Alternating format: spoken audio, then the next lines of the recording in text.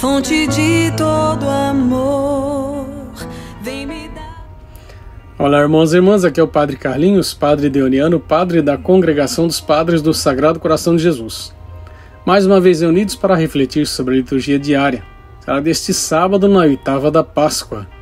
A primeira leitura, Atos dos Apóstolos, capítulo 4, versículos de 13 a 21 o Salmo é o 117. O Evangelho é Marcos, capítulo 16, versículos de 9 a 15. A nossa reflexão é baseada no livreto Igreja em Oração da CNBB. Devemos obedecer a Deus. Esse princípio tão simples, apresentado com singeleza pelos apóstolos, renova o sentido do compromisso com a palavra de Jesus.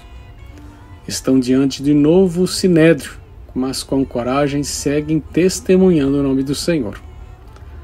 Ali, diante do povo, estão as credenciais de dois simples galileus tão confiados na proteção do Mestre ao seu novo modo de agir. Isso gera admiração e perplexidade, fazendo com que a luz do Evangelho possa brilhar de forma ainda mais viva. Essa luz que brilha sobre Madalena, levando a anunciar aos discípulos que choram a alegria de uma boa notícia.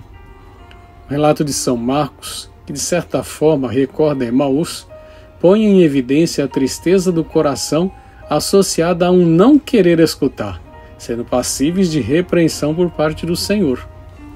A palavra do Senhor é suave, mas é imperativo que sejam acreditados aqueles que ouviram ressuscitado, e suas palavras devem também ser ouvidas.